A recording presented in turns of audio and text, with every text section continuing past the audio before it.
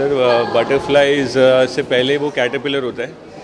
Caterpillar के बाद ही butterfly बनता है। अभी वो सब कुछ हो रहा है बॉडी में कुछ जू टाइप खुल गया है मेरे बॉडी में।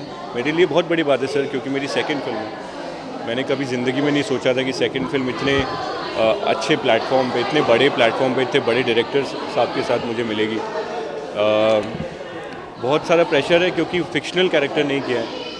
इससे पहले मैंने जो फ़िल्म करी, सनम तेरी कसम, उसमें मैंने एक फिक्शनल कैरेक्टर किया उसमें थोड़ी बहुत फ्रीडम रहती है कुछ भी अपना अपने हिसाब से डायरेक्टर्स के हिसाब से। बट इस फ़िल्म में सिर्फ़ डायरेक्टर के हिसाब से करना था क्योंकि रियल कैरेक्टर है और महावीर चक्र मिला है इस कैरेक्टर को।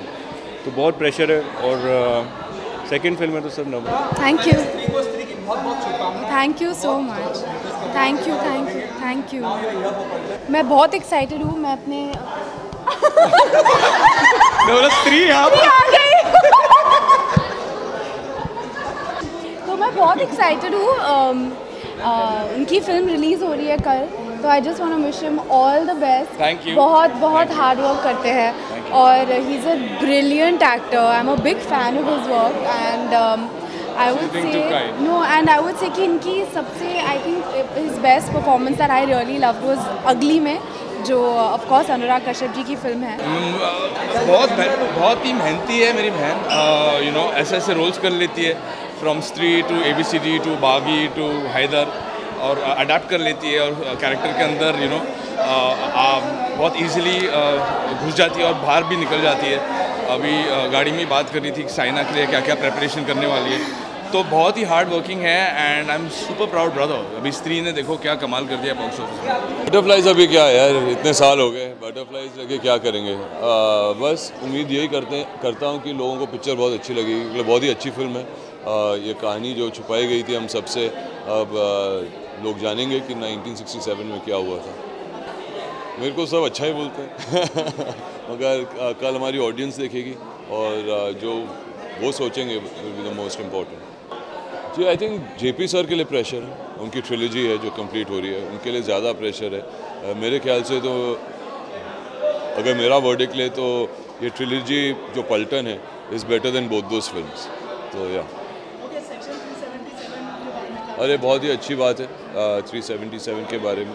You know I think India should be really proud और कंग्रेचुलेशन टू एवरीबडी क्योंकि uh, इंसानियत इन सब इंसान है और uh, ये इंसानियत की जीत है।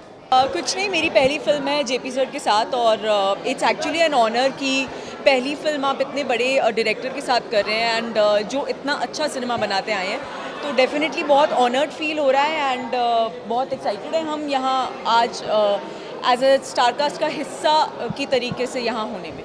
जैसे कि मैं हमेशा पहले हमेशा से बोलता हूँ कि माशाल्लाह बहुत अच्छी लगती हैं तो आज भी बहुत ज़्यादा खूबसूरत लग रही हैं और आज बहुत ख़ास मौका है। पहली फ़िल्म है पहली फ़िल्म का पहली स्क्रीनिंग है तो अभी तक हमेशा मुझे ये क्रिटिसाइज़ करती थी मेरे काम को लेके आज अभी मैं करूँगा आज मेरी बारी स्क्रीनिंग देखने के बाद भैया यहाँ अच्छा था यहाँ बहुत अच्छा था यहाँ बहुत बहुत बहुत अच्छा था। ख़राब तो नहीं होगा definitely I am very excited मैं सबसे ज़्यादा एक्साइटेड हूँ फ़िल्म देखने के लिए क्योंकि मैंने भी अभी तक फ़िल्म देखी नहीं है।